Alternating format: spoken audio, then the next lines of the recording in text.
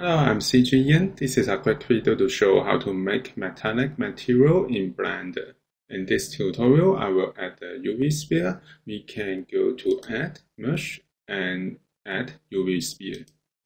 Close up to view and then we can use right click and choose Shade Smooth to make it look smooth. And then we can switch to Material Preview and make sure that we select the object and go to Material Properties and then add the new material.